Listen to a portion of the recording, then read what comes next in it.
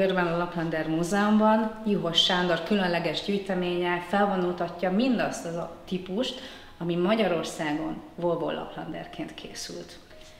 Ez a karosszéria mitől érdekes számunkra? Ez a karosszéria attól érdekes, hogy egy donorként, alkatrészként vásárolt autónak a karosszériája, és ezen jól lehet mutogatni, hogy hogyan is épült föl maga a karosszéria szerkezete.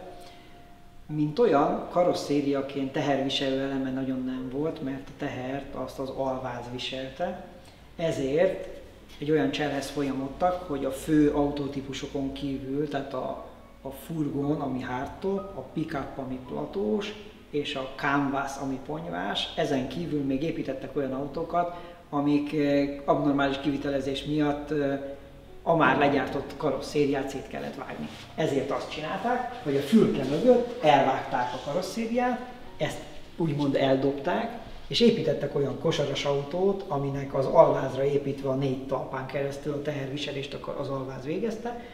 Aztán építettek egy nagyon ritka mentőautót, ami azért is ritka és érdekes, mert a Falkland háborúhoz építették Argentinába, és a fülke mögé egy fülkénél magasabb szögletes dobozt építettek, aminek a jellegzetességét, fő jellegzetességét meghagyták a hátsó lámpákkal, a sárvédégek alakjával, viszont a nagyon ritkasága az, hogy célirányosan csak a Falkland háborúhoz építettek mentőautókat, ezért a tervem az, hogy ha Argentinából meg tudom szerezni a még fennmaradt kettő példányból az egyiket, akkor azt szeretném még hazahozni. Tatabányai bányamentőt használtak Magyarországon is, a bányászoknak a mentésére viszont nem különleges felépítésű volt a két bányamentő, hanem a furgonból lett átépítve, ami ugyanolyan felépítésű, mint a Kádár János vadászautója. Az egyik példány visszakerült az eredeti, az állam utáni tulajdonosa közül az első eredeti tulajdonosához, annak a fiának visszaadtam. A másik példány pedig Sopronban van egy gyűjtőnél szétszedve, az a terve a Soproni úrnak, hogy felújítja, és ő bennük a belső berendezés hasonlít az Argentinába gyártott dobozos mentőautóhoz, de külső kialakításában azon kívül, hogy a kereszt az oldalán a fények és a hangszóró a tetején, azon kívül inkább furgon, mint mentőautó kivitelezésű. Aztán, mivel említettem, hogy levágták a fülkéjüket, ezért levágott fülkéből a kosaras autón és a mentőautón kívül más példány nem készült. A következő különleges példány az a daru volt. A darunak a, a karosszériát átvágva az alvázba bekötve egy középen egy kis két tonnás daruval építették, valamint építettek olyan autókat, amik itt a molinókon is megtekinthetők, például permetező autót, tűzoltó mentőautót. Volt egy olyan tűzoltó festő, fecskendős autó, aminek egy 600 literes tartály volt a platójába, és egy nagy nyomású szivattyú hajtotta a fecskendőt.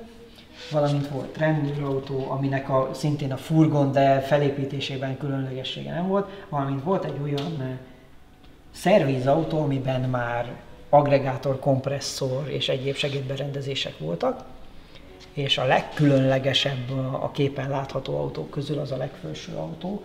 Ő egy négyszemélyes rövidplatós autó, ami valójában azt mondjuk, hogy a furgon és a platós egy velege vagy keveréke, amit majd egy későbbi epizódban be fogunk mutatni. Ő szintén már rendelkezik munkakihajtással, ami egy nagyon különleges technológiai megoldás, és nem két személyes utastér és anyosülés, hanem négy személyes és rövid a platója, és hátul egy ilyen úgy söprőkefe van rajta, elől pedig egy hótoló.